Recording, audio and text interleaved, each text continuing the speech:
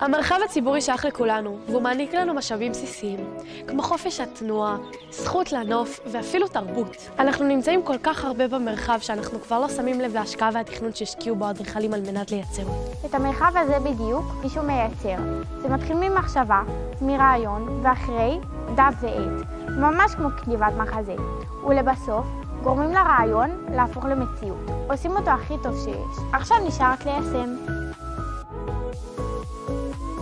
את המרחב הפרטי שלי, את הבית שלי. אני יודעת בדיוק איך אני רוצה לתכנן. איפה יהיה כל חדר, איפה הגילה, איפה הסלון, השירותים, ואיפה המלונה של הכלב.